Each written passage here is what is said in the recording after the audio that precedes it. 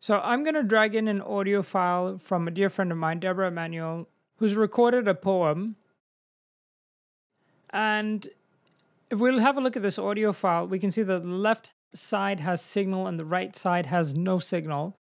So what I want to do in Logic is I actually want to split these two files up and I want to get the left side as a mono signal and the right side as a mono signal so I can process the audio as a mono signal. So now if I just play the file. I have loved you. You can hear that the audio only comes from the left channel.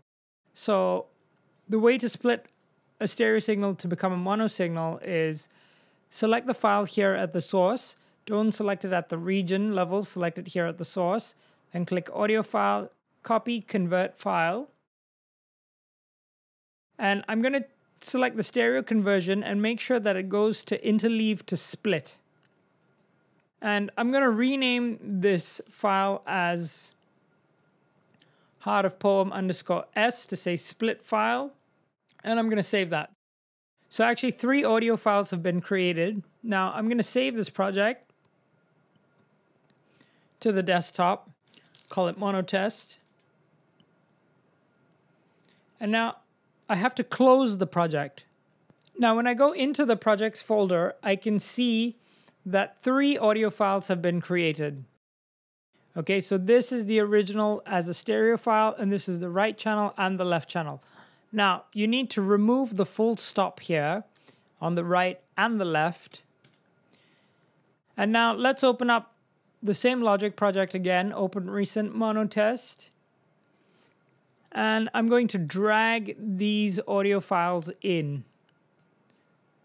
So I'll get the left. And we have the left side just as a mono signal. And I'll drag the right in. And we can see the right is blank. So if I solo this now.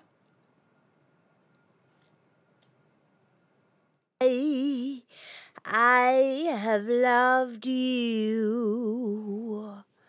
Now we're getting it as a single mono file. Hope this has been helpful and if you like this tutorial video, subscribe to the channel for more awesome tutorials and tricks on music production.